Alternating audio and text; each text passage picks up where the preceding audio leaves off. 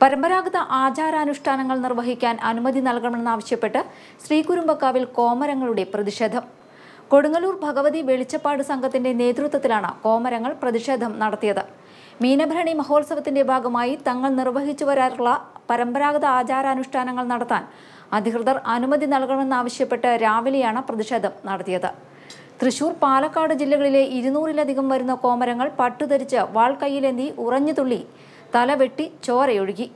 രാവിലെ എട്ട് മണിയോടെ കിഴക്കേ നടയിൽ എത്തിയ കോമരങ്ങൾ പ്രാർത്ഥനാദി ചടങ്ങുകൾക്ക് ശേഷമാണ് തങ്ങളുടെ പ്രതിഷേധം അധികൃതരെ അറിയിച്ചത്. കുരുമുളകും മഞ്ഞപ്പൊടിയും കാണിക്കയും അർപ്പിച്ചു. അമ്മ സങ്കല്പത്തിലുള്ള കൊടുങ്ങല്ലൂർ ശ്രീ കുരുമ്പക്കാവിൽ പരമ്പരാഗതമായി മുടങ്ങാതെ ചെയ്തു വരുന്നതാണ് മീനഭരണിയുടെ ഭാഗമായുള്ള അനുഷ്ഠാനങ്ങളെന്ന് കോമരങ്ങൾ പറഞ്ഞു. ഓരോ തറവാടുകളിൽ നിന്നും എല്ലാവരും വരാതെ രണ്ടോ മൂന്നോ പേർ മാത്രം പങ്കെടുത്ത് ചടങ്ങ് നിർവഹിക്കാൻ അനുവാദം നൽകണമെന്ന് കോമരങ്ങൾ ആവശ്യപ്പെട്ടു. കൊടുങ്ങല്ലൂർ ഭഗവതി വെളിച്ചപ്പാട് സംഘം president Subhadra Amma vice president Girish secretary Shibu തുടങ്ങിയവരുടെ നേതൃത്വത്തിലായിരുന്നു പ്രതിഷേധം ചടങ്ങുകൾക്ക് സർക്കാർ അനുമതി നൽകണമെന്ന് സുന്ദരേശൻ മാസ്റ്റർ ആവശ്യപ്പെട്ടു തെക്കേനടയിൽ കുറുമ്പ അമ്മയെ ദർശിച്ച ശേഷമാണ് കോമരങ്ങൾ മടങ്ങിയത്